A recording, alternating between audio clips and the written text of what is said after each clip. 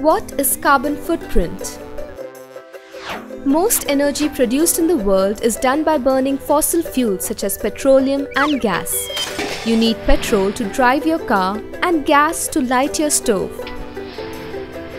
Your carbon footprint is the total amount of CO2 and methane gas you release into the environment by consuming energy.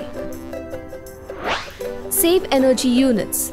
Using paper for example adds to your carbon footprint because it takes 15 units of energy to make paper from a plant. A plant takes 5 units of energy to grow into a tree.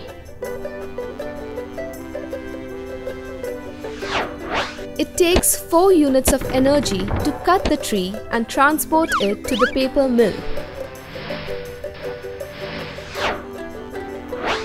It takes 6 units of energy to create paper in the mill.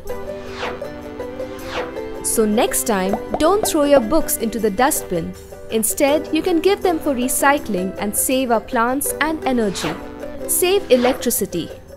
If you forget to switch off a light or a computer when you leave home, you are adding to your carbon footprint.